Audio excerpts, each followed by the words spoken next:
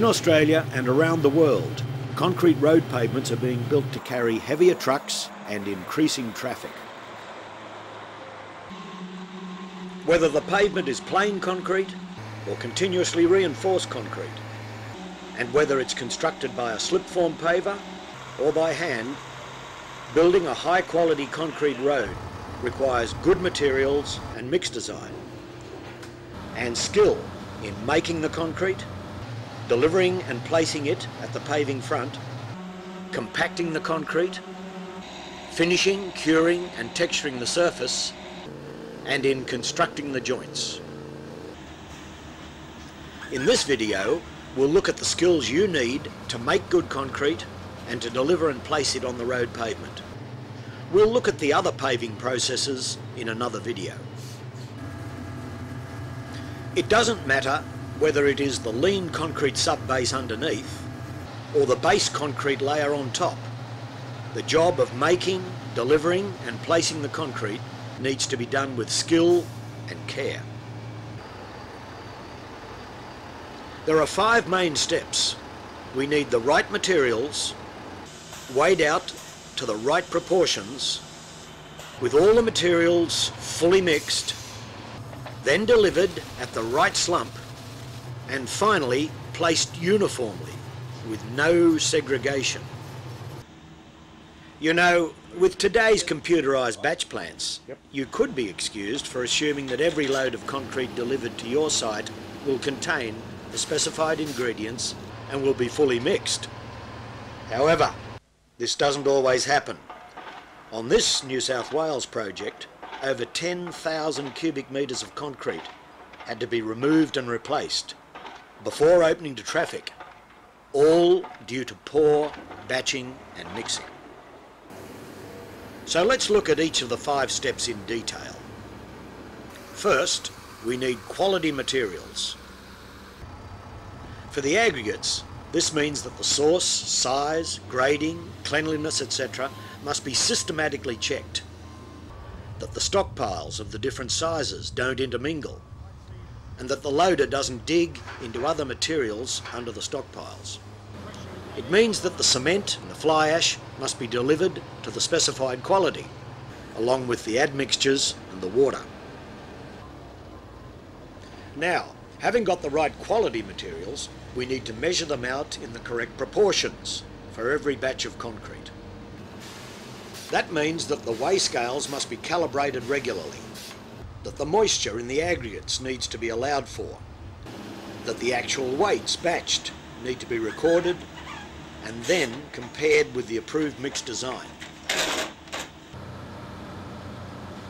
Then we need to fully mix these materials into a uniform blend. Whether it's a central mixing plant using tippers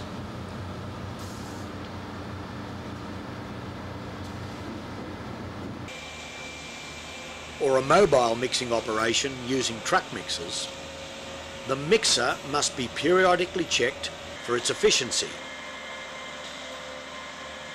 And then procedures established to ensure that every batch of concrete is fully mixed. For truck mixers, the mixing details are recorded on the ID plate on the truck.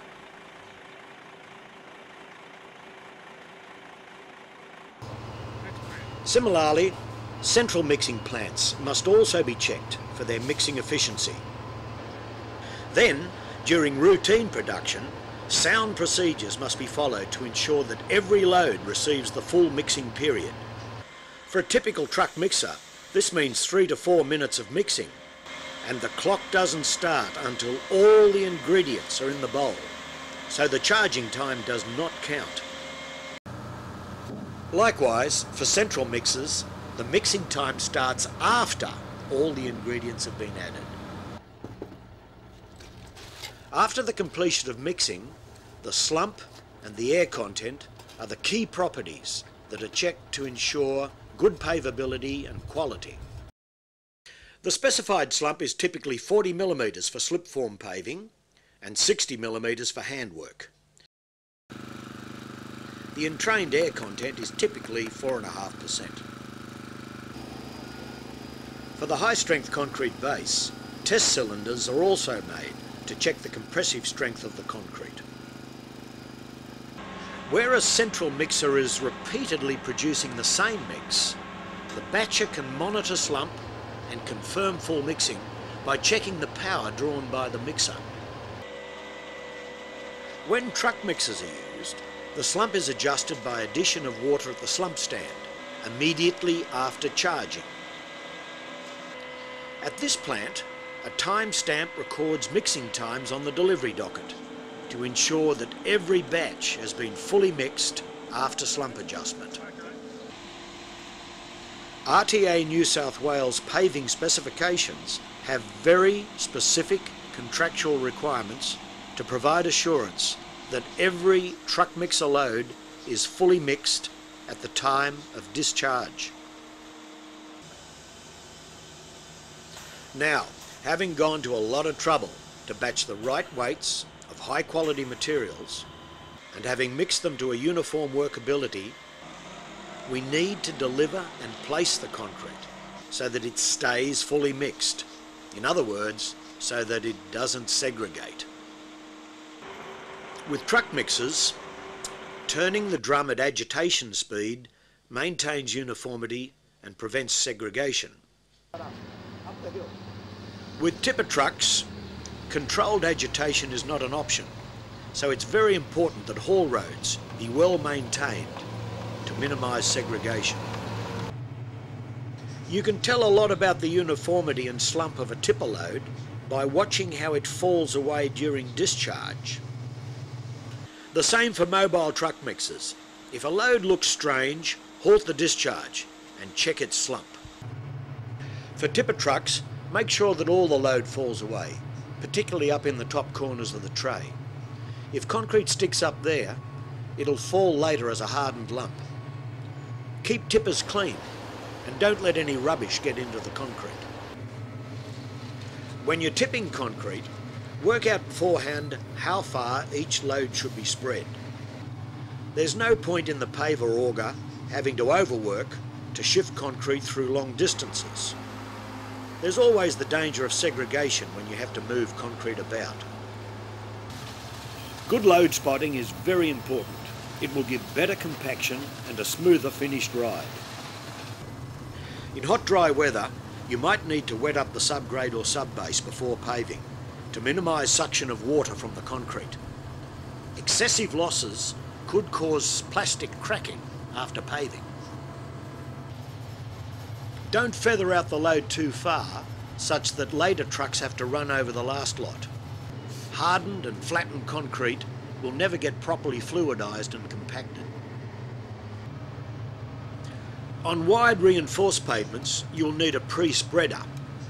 Check each load as it tips, and then make sure that the spreader is moved forward at a pace that gives an even distribution of concrete to the paver behind. You'll get a better compaction, ride and productivity that way. On hand paving jobs, the man on the chute or the pump line will make the job much easier and better by spreading the concrete uniformly between the forms for the shovelers and the vibrator operators.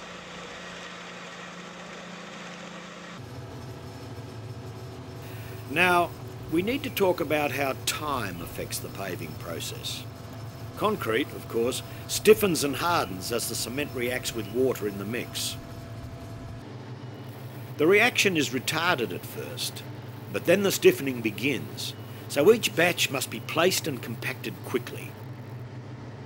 And the time available to place and compact gets shorter in hot weather because the cement water reaction speeds up. That's why the delivery docket must have an accurate, verifiable batching time stamped on it. This way, the age of every batch is known. All slump tests must be completed within 40 minutes of this time of completion of batching. And for truck mixers, if any retempering on site is needed, the water addition, full remixing and the slump test must all be completed before the 40 minutes is up. There is also another time limit called the forming time. This defines the maximum age of a batch that can be paved. The forming time is also calculated from the time of completion of batching. To do this, the chainage where each batch is placed and the time that the paver passes that chainage needs to be recorded so that the forming time can be determined. So, in summary, making good uniform concrete and delivering and spreading it with minimum delay are vital to building a high quality concrete pavement. You need the right materials, batched to the right proportions, fully mixed to a uniform slump, and then delivered and placed without segregation and within specified time limits. Remember, none of this can be taken for granted. Too often, it just doesn't happen on construction projects. So your part in building quality concrete roads is very important. Act as if what you do makes a difference, because it does.